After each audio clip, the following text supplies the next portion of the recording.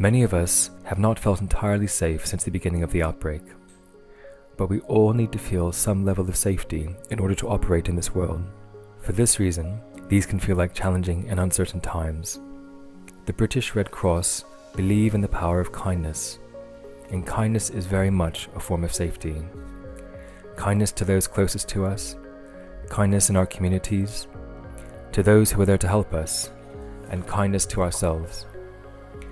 Social distancing and self isolation are extremely important, but they can affect us in many ways. Being kind to one another can help reduce a sense of stress and separation. A single act of kindness can inspire many more.